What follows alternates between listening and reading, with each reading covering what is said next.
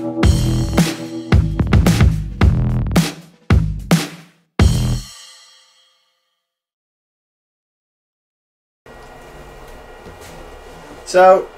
general question for you guys: What makes a retro game, or where where's the cutoff for a retro? What makes things retro? Hi everyone, I'm Asch, I'm Card Dreamer. I'm Ready Player 5. and this is a discussion video about where's the line from modern gaming to retro gaming. Ready Player 5, can you answer this for us? Um,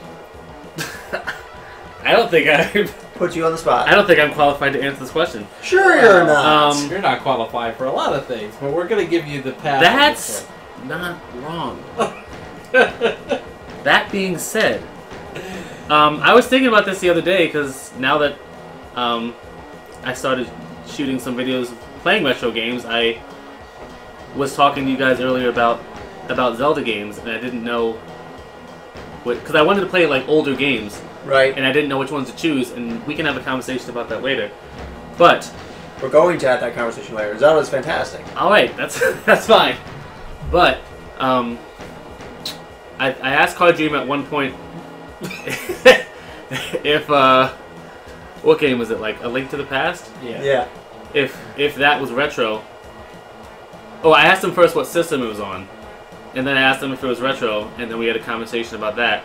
But I would say, I mean, I would say there's like a year limit.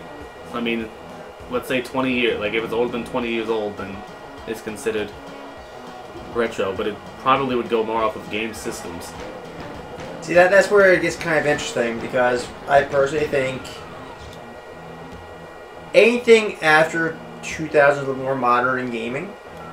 But I also feel like the a lot of the games on the GameCube are retro because they are old at this point and kind of irrelevant. Well, when did the GameCube come out?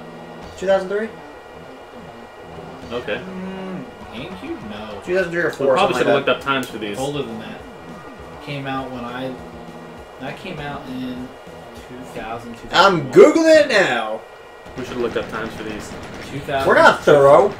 It would be 2001 at the latest. I don't think so. Okay, I, I, I was actually gonna say around 2000, So, but while Asch proves why we're D class and not prepared for these conversations, No, you're right. 2001. uh, usually it happens. I am right. This once. Card Dream is also a million and a half years old. So He is. He is dirt. It's true. Now get off my lawn. yeah, we've actually been having Grandpa, we're in the city. There is no lawn. In my day, that weed would be considered law, and we'd be thankful. Okay, we're done. Uh, so That gag went on a lot longer than I expected. It went on for five seconds. yeah, a lot longer than I expected. Jesus, I want to go she home. said. I want to leave. He regrets being inducted into D class. Now he's stuck here. it's true. yeah, I'm sitting farthest away from the door. I couldn't leave if I wanted to. It's but um, true. It was a D class design. The exits are not accessible. oh, that's not a D class design. That's an A class design. You designed it so I couldn't leave. That's a good design. so Uh, I would say GameCube would be retro, in my opinion, because it, a lot of the games. It's 2018 now. It's been 17 years since the s- console's release. Now the GameCube had a decent lifespan, but in terms of quality, graphics, gameplay, and just a general selection of games, it I feel like a lot of them would be considered retro, in my opinion. Like, where do you see the cutoff, CD? That's a tough one. Like GameCube, the way it, it panned out graphically and what it could do, I feel like that was the big. Like for Nintendo, that is the beginning of modern gaming. Because that's that. when it, it, that's when it came into discs, and the graphics are still not bad on certain, especially with certain games like Wind Waker. Um, Wind Waker Rogue holds Squadron, up really Rogue well. Leader. Wind Waker held up real well. It did, and that's why. And you know, Mario, um, Mario Sunshine. These games I hold, still like that one. they, they hold up, and I feel like they are.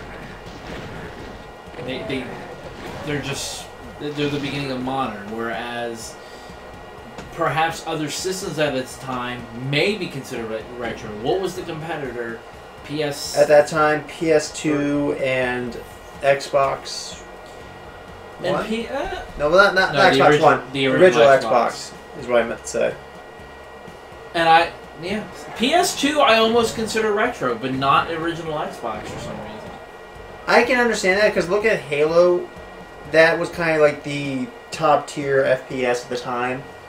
Right, and, and While on like PlayStation 2, we still had Spyro, Crash Bandicoot, Ape Escape, stuff like that. but you had God of War. We also had God of War, and God of War is still phenomenal. So it, it's tough. It really is tough. Like, but then you have the clear cut systems.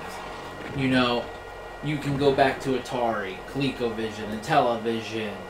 Uh, How old are you? I actually grew up with an Intellivision. That was my father's. Um, So he is a million and a half. Ha ha! my dude, Intellivision was awesome. I don't care. So, but I mean, original Nintendo, Super Nintendo, Nintendo 64, and PlayStation One. I'd consider those retro. I, I feel like we all can agree that N64 and prior are all retro. Or would you say anything non-disc, uh, like CD disc based, is retro? I, I think anything that's non disc based is retro just for the fact that So would PlayStation One be retro given what it did? PlayStation 1? Yeah. Tough call. Do you want the Wikipedia definition? No. I mean, Wikipedia is editable go by for- any old D class. Go for it. I mean, it makes sense reading it. Go for it. I want to hear this. Retro gaming, also known as classic gaming and old school gaming, is the playing of playing or collecting of older personal computer, console, and arcade video games used in contemporary times. Usually, retro gaming is based upon systems that are obsolete or discontinued. Now, saying that, See, right there now. Some could argue what you mean. that some systems now are obsolete. I look at Xbox One. hey, I mean, I, I obviously there's no officiality to this because it is Wikipedia, but I don't know if No, but the have, description have game itself. companies like released their opinion on what retro gaming is. Surprisingly enough, not too many. Yeah, pretty much anything they consider anything If it's a viable prior market, to the current gen. I mean, it, just consider old. I mean that's They the way they do that. treat it because look at Sony and their inability to want to do backwards compatibility except for their PlayStation Now. that still pisses me off so much. Where I was so Xbox, upset when I got a PS4 and I couldn't get my old PS3 games onto it. Xbox treats. I feel does treat their older system 360 and the original as retro, but they openly embrace it with their backwards compatibility. And that's fine to me. Uh, big thing is, I love retro games. I still have to go back and play like Ocarina of Time, Majora's Mask, first Smash, and then I look like now. I was like, I want to play new Smash because old Smash just looks bad and hurts my eyes. Uh, oh, Star Fox, way back when, Kirby, Mega Man, Castlevania, Metroid. All that stuff are pretty much the first things that come to mind when you think of retro. Like They the, are, and but I could go further back because I used to play DOS games. you also used to play Pong. No, air hockey. Pong I is a played. solid game. It's a solid game. I played air hockey. That was before we had electronics. Air hockey is also a solid game. air hockey's Oh, awesome. Player One of Five these loves days- air hockey. One of these days, we're gonna have to go somewhere and play physical games. I'm for it. What are those? you just said air hockey.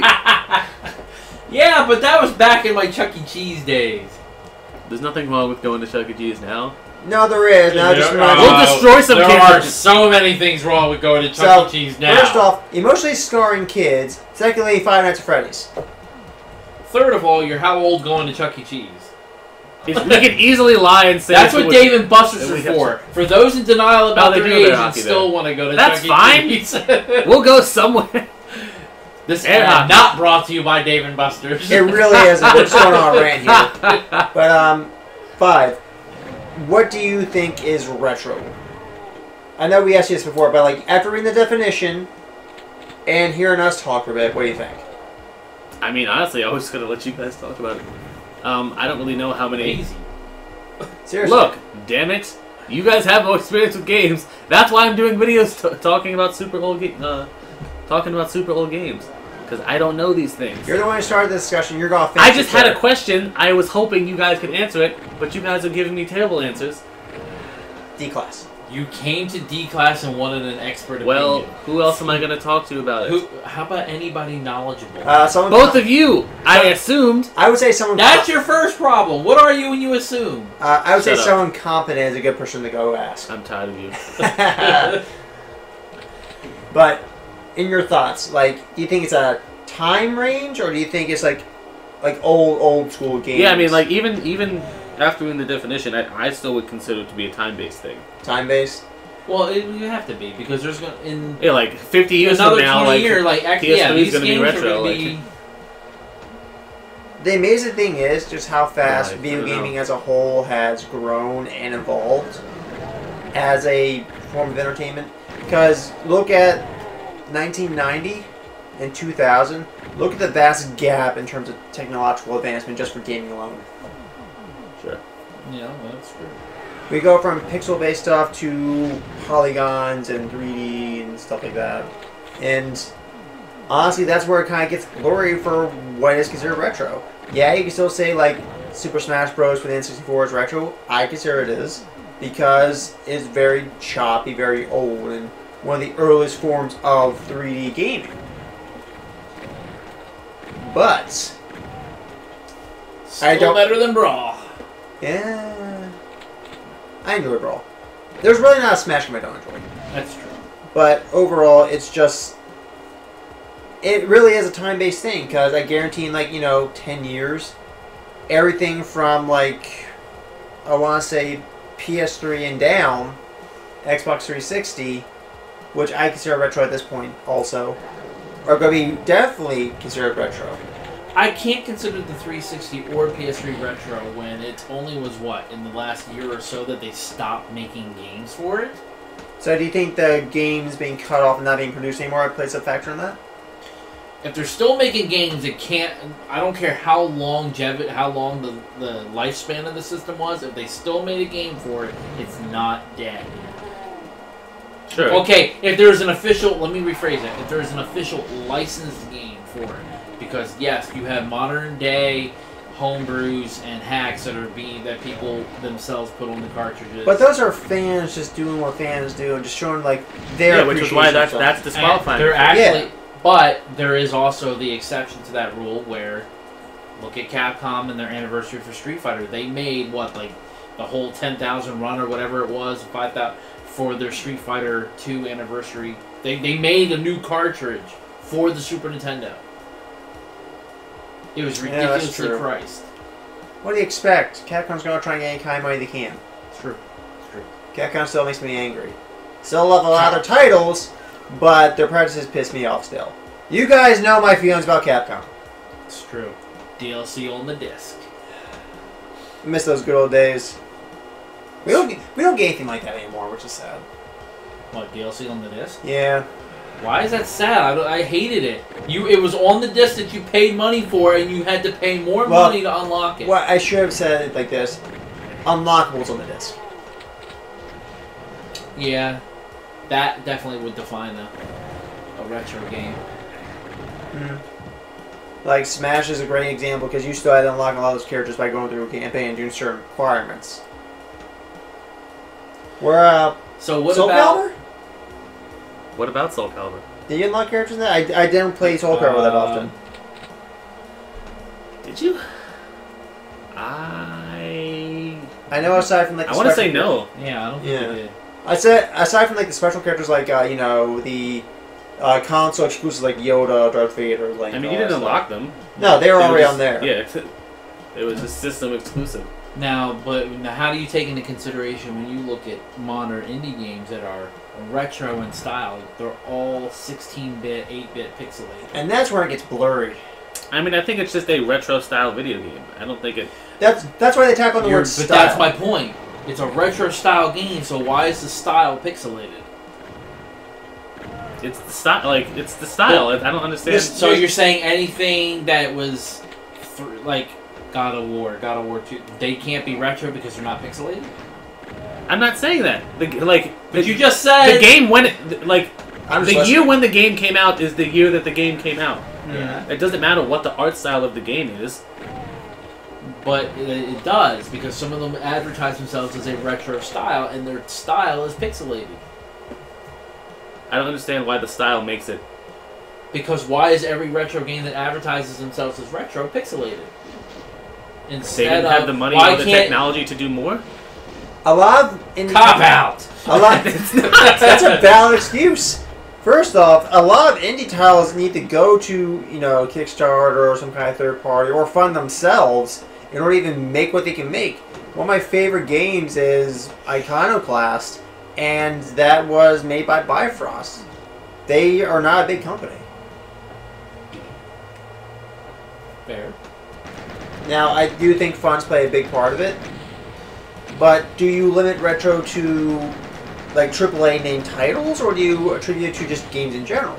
Now, I do think some games in general are retro, and I think like, but the big ones that come to mind are like Nintendo. I mean, I, I don't think you can limit it to No, you top can't. quality games. Like it's whatever. It's- I agree. I'm not saying that. I'm just saying it's like usually what people think of first when they think indie, t- uh, think of retro games is Sure. a big title Because look, in that time period. few people are as deep in the video game rabbit hole as you guys are.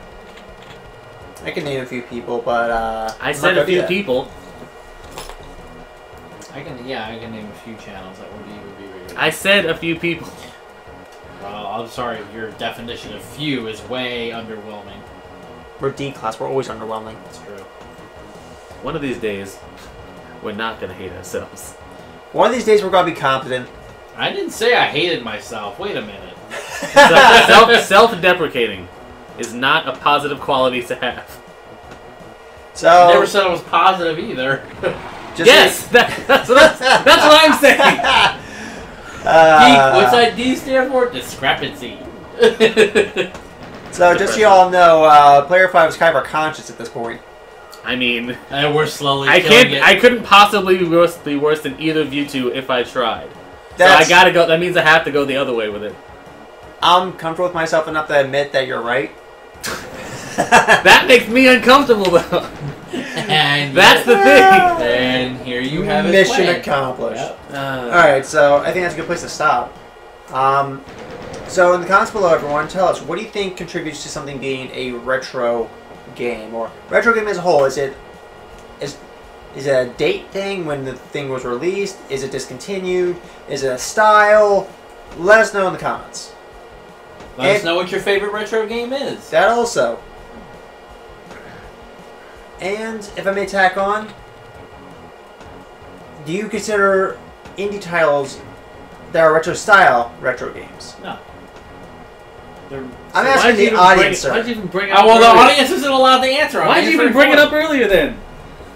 If you didn't think that they were, why did you grill me about it? You dick. because that wasn't what I asked you about. It is. No, I asked you to think about why is there the company's interpretation of retro pixelated is what I was getting at. Why is it they didn't do a 3D or a 2.5D game and call it retro? Why I guess we're is continuing their the video then. Yeah, that that's what I was trying to get at. Why is all the re- game companies that today that make retro games all pixelated? Why is that their impression? I got the answer. I got the answer. That's what the public opinion. Nostalgia. of Gaming is. Nostalgia is what I tell you it is. No. Yes, it is.